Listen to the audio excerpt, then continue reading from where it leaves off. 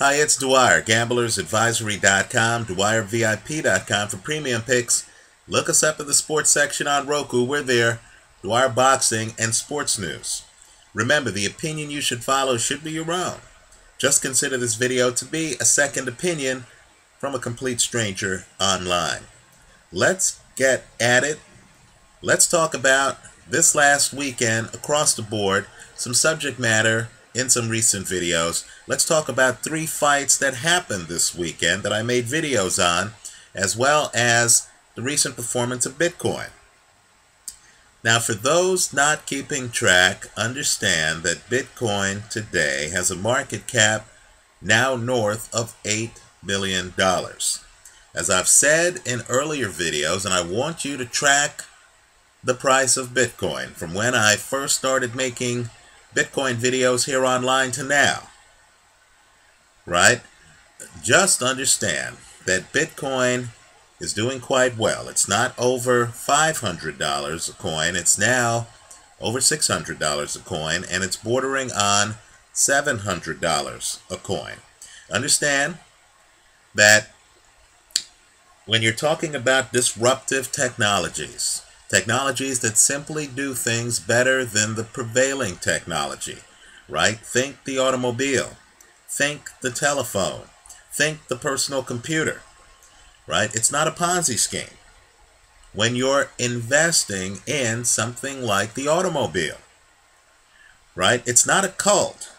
It's people who realize that transportation is a necessity in life and that this new technology does it better than the horse and buggy. Right? Fiat currency, by comparison to Bitcoin, is horse and buggy-ish. Right? Just keep track of Bitcoin. As I said before, you'll be surprised to learn that Bitcoin right now is just in the early stages of its growth. There are hundreds of billions of dollars of financial transactions in the world every day. Just understand that Bitcoin in the last 24 hours was involved in more than $30 million of financial transactions. That's going to climb exponentially. The situation in the Ukraine right now, understand the rebel forces in the Ukraine are partly funded by Bitcoin donations. Why? Because supporters of the revolution there understand that Bitcoin is the quickest way to get money from here to there, right? Much faster than a credit card transaction, etc. Right? So take a look at Bitcoin's performance. It's been eye opening. It's not up marginally, folks. It's up in a big way. And this is only the beginning. If there's one bet to make in 2014, it's on Bitcoin, right? Full disclosure, I have some Bitcoin. I also have some Max Coin. I also have some Dark Coin. I encourage you to look at each of these cryptocurrencies. Let's talk about this weekend, okay?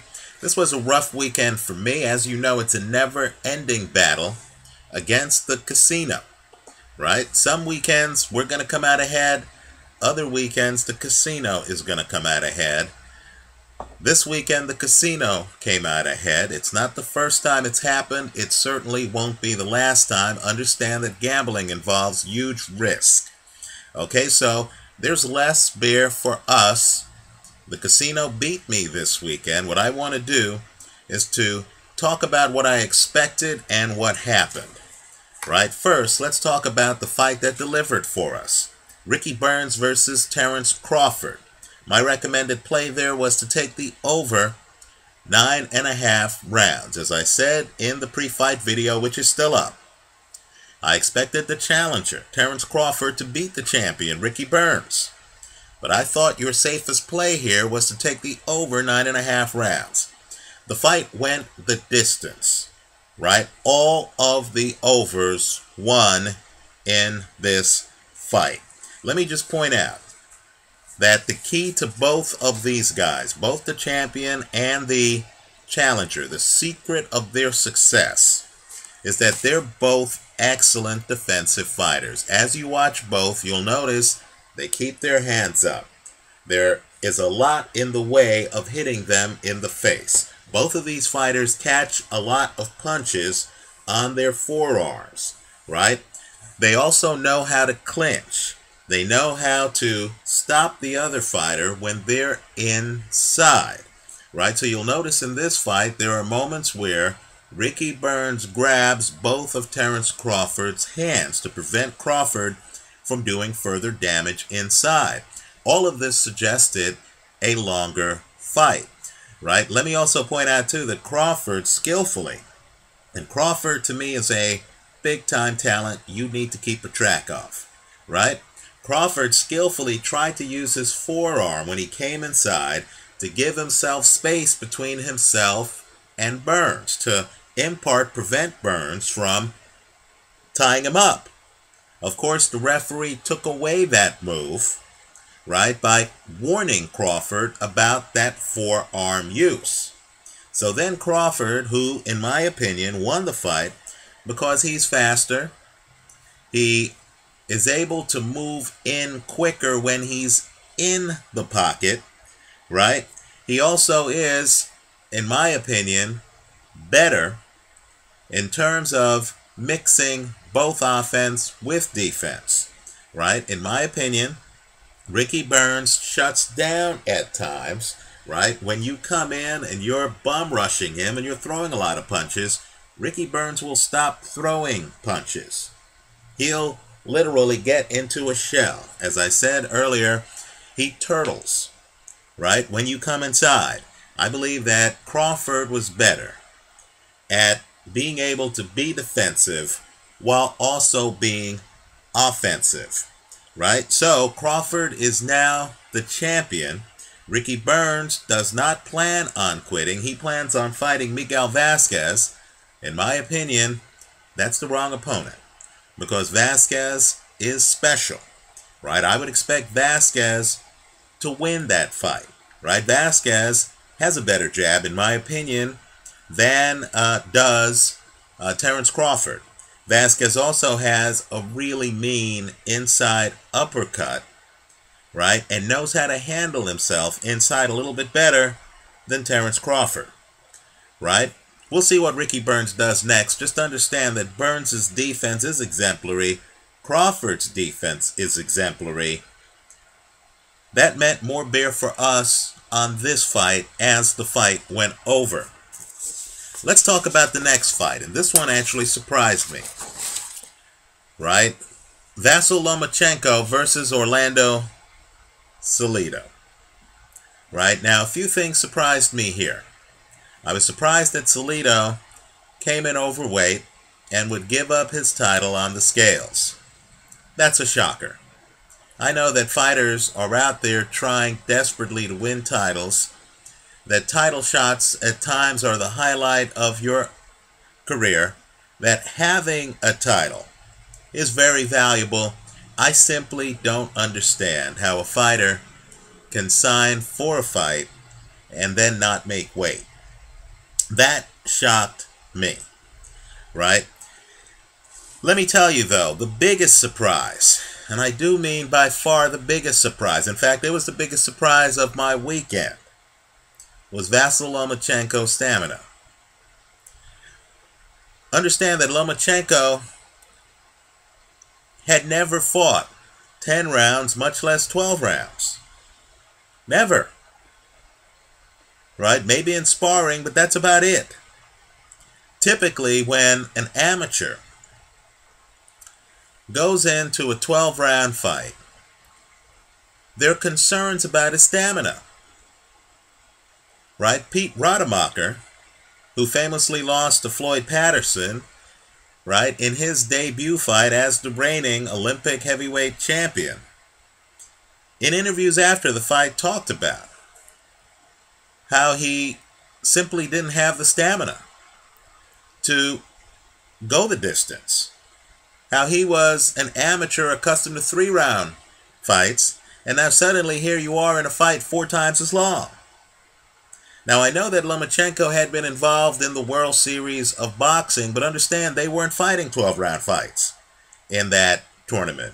Also, understand the level of competition wasn't remotely close. What he was facing in facing world champion Orlando Salido. Now, it was interesting because the first round of this fight, Lomachenko's on his front foot. He's trying to hunt down Orlando Salido. You can imagine as I was watching that first round, I thought, more beer for us. There is no way that this fight could possibly go the distance with Lomachenko on his front foot initiating the action. Right? By the way, for those who don't know, my pre fight suggested play on this was to take both guys to win by knockout. Right? I thought the safe play, as if there's a safe play in gambling, was that this fight wouldn't go the distance.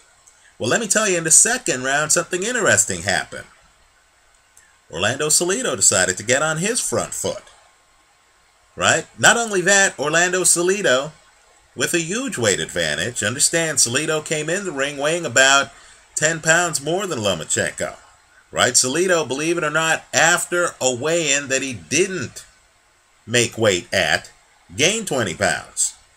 Right? So Salido starts doing the one thing that would almost guarantee that this fight doesn't go the distance he starts a withering body attack on Lomachenko. Just in case there were questions about Lomachenko's stamina, now you have a guy hitting him with stamina depleting body shots. Right? And Salido was very good at it. His right hand to the body was particularly effective. So I was sitting down waiting for the Redwoods to fall in this fight. Someone was going to get knocked out.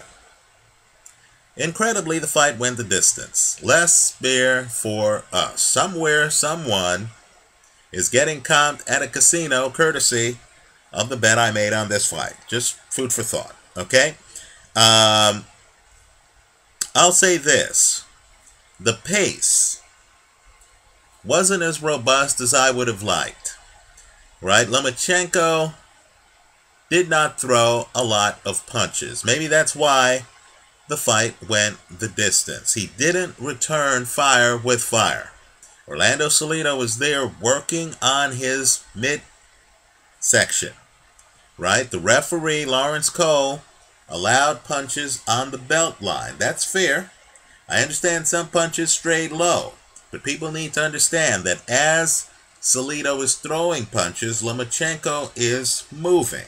I didn't get the feeling that there were deliberate low blows. This didn't strike me as the Abner Mares Joseph Agbeko fight. Right? This was a little bit different. I'll agree there were multiple low blows.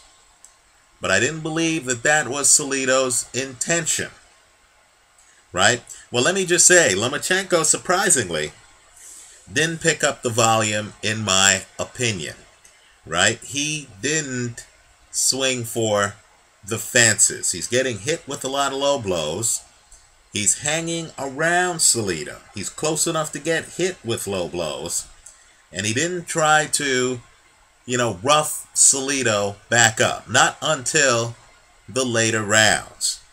Right? So that was a bit surprising. I was surprised at the stamina. I was surprised at the lack of volume from Vasyl Lomachenko. Right?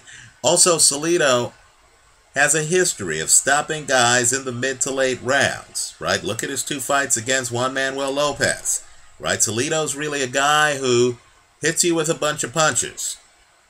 And then you start feeling those punches as the fight progresses, right? As they said on the telecast, he doesn't throw a lot of jabs, he's throwing a lot of power shots.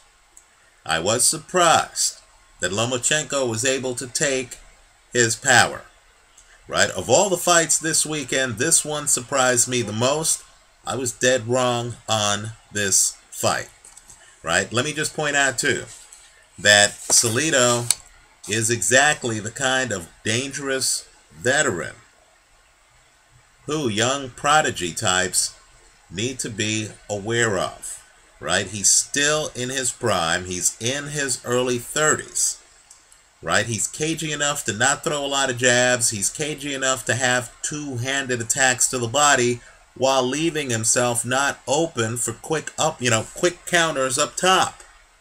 Right? Salido is a complicated fighter this was too much too soon for Lomachenko. Right? Understand if you don't count the World Series of Boxing exhibition fights, this was only Lomachenko's second pro fight.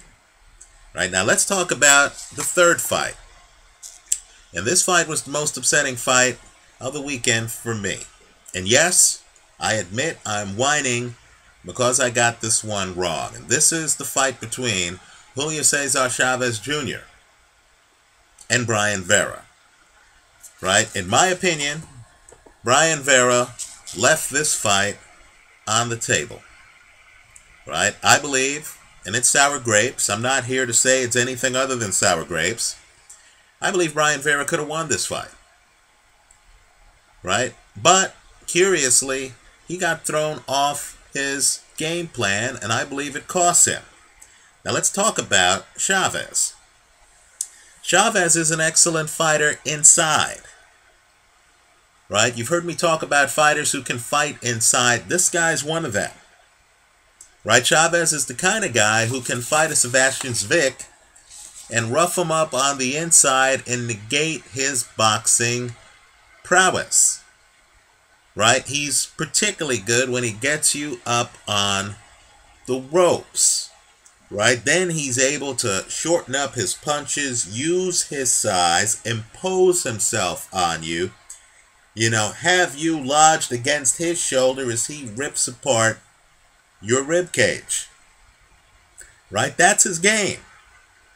But, in my opinion, and I know this is against public opinion, I believe Chavez Jr. is limited on the outside. He does have a good left hook he can throw from distance, right? But to me, that's about it. I think he can be outboxed. I'm not that impressed with his boxing skills from the outside. Also, I consider Chavez Jr. to be poorly conditioned. Right? His volume isn't that great. Look at the CompuBox numbers for the Sebastian Zbik fight. You're going to see that he was outthrown in that fight. Look at the first Brian Vera fight. You're going to see that Chavez Jr. threw a very low volume of punches. Even look at the ending of this fight. You'll see that Chavez Jr. hit a wall in this fight. Right? I don't think that's ever going to change. I believe hunger is a big part of boxing. Right? You have guys out there waking up early in the morning, doing a lot of road work, passing up donuts, right? You know, forcing themselves to stay in shape even when they don't have scheduled fights. Right? You have guys dreaming of the title. You have guys dreaming of keeping the title. Right? I don't believe this is one of those guys. I think this is a guy who isn't self-motivated. I believe he has to be pushed. That's why Freddie Roach is no longer in his corner. That's why his own promoter, Bob Arum, is talking about how this guy needs to get a higher level of trainer. Right? Understand, I believe that when this guy is in training camp, they're raised eyebrows. So to me, the key to beating Chavez Jr. is movement in the middle of the ring behind a jab. It's to keep him turning. You don't want to be on the ropes. You don't want him inside. You need to keep him outside. You can't have a fight with him. He hits hard. You have to have a boxing match. Right? Think Floyd Mayweather against Robert the Ghost Guerrero. Right? Mayweather is moving in that fight. He's keeping Guerrero guessing in that fight right? He's not lounging out too much by the ropes. Rather, he's moving. He's keeping the fight away from the ropes. Right? That's how you deal with this fighter. Now, I thought Brian Vera comes out. I thought if you go back and if you look at the second round of this fight, that second round is exactly how to beat Julio Cesar Chavez Jr. Right? Vera is on his game early. He's on his game in the second round. In my opinion, and it's sour grapes, you're hearing the losing side of the bet here. All he had to do was make every round the second round. He had the blueprint. You want the blueprint? It's there on film, right? Why is Vera against a bigger man standing and trading with him? Why is Vera over at the side of the ropes? Why is Vera grinning and nodding his head when Chavez Jr. hits him? You don't want to have a dialogue with your opponent. Forget your opponent. If you have the blueprint, you're just in there connecting the dots. You're in there knowing, look, this guy, this guy's not a boxer from distance. Right? This this guy wants to impose his size on me. He can't do that as long as I'm hard to find and I'm moving in the ring. This guy's lower volume than me. When I'm pumping a jab, right? Chavez Jr. starts out the fight with decent volume. I'm not here to say otherwise. You knew we couldn't maintain that. And so I'd like to know why Brian Vera ever got away from the jab. Because it wasn't like Chavez Jr. ever solved it. Right? Why get away from the jab? Is there is there some dynamic with Chavez Jr. that I'm missing? I'll throw that question out to YouTube Nation. I know Chavez Jr. is a popular fighter, at least he was popular. Notice here there were thousands of empty seats. I believe the public has figured out that Chavez Jr. isn't always prepared for fights. Right? And so, Vera's excuse here is that he thought it was a 10 round fight and not a 12 round fight. Right? Well, let me just say this. He still should have been pumping the jab. That's not an excuse not to pump the jab. Right? I would expect Chavez Jr. to fall apart against an opponent with mobility who can work behind a jab. Right? I would expect that fight to be lopsided. In fact, wait a moment. Haven't we already seen that fight? Sergio Martinez against Chavez Jr. Right? Didn't Martinez win something like 11 of 12 rounds? Right? Think about it. That's how you beat Chavez Jr. What was Brian Vera doing trying to knock out Chavez Jr.? Brian, you didn't need the statement. Leave with the win. Take care of the win first. Right? Don't try to go Billy Conn early in the fight. What's that about? So to me, I still question Chavez Jr. Right? I, you know, it's sour grapes. Chavez Jr. beat me on this one. Chavez Jr., if you ever watch my videos, let me say, congratulations. Right? But I still question him right? I still wonder what happens when a guy doesn't get lured into a slugfest against this guy, right? Brian Vera, in my opinion, beat him the first time. Brian Vera, in my opinion, just look at the second round, should have beat him the second time. What's sad with this fight is Brian Vera was the one who finished strong. Think about it. So, Brian, if you had the stamina, what are you doing getting off your game plan? I'm guessing that guys are in the ring. They view Chavez Jr. as smug. Then they think to themselves, because they're fighters, I'm going to take this guy out. Wrong strategy. Wrong game plan. He's a big guy who can fight inside. Don't get inside with him. Right? So I lost that fight. I'm not happy about it right? I'll be keeping an eye on Chavez Jr.'s career. But I suspect, right, he's going to bite off more than he can chew real soon. Right? I don't think Chavez Jr. lives up to the hype. And I say that as someone just beaten by him. My recommended play in this fight was to take Brian Vera, hedged with Chavez Jr. by KO. Right? I thought Chavez Jr.'s only chance would be to win by KO.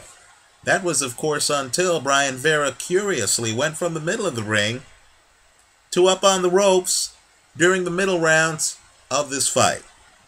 Right? I hope Brian Vera looks at the film. I hope he sees how he had the upper hand with the jab. I don't know what these guys were saying to each other in the ring. But somehow, Chavez Jr. convinced Brian Vera to trade with him. That was a mistake. Let me also say this too, and I know Chavez Jr. hits hard. But does he hit as hard at 168? This is the second fight between the two guys where Brian Vera has gone the distance. Right? Think about it. Keep in mind, Brian Vera gained weight to fight at 168. Right? What happens when Chavez Jr. hops in the ring with, let's say, James DeGale? Let's say Andre Ward. Right? He could be embarrassed in both of those fights. Let me hear from you. Leave your comments for me here online. Visit us at gamblersadvisory.com. Thanks for stopping by.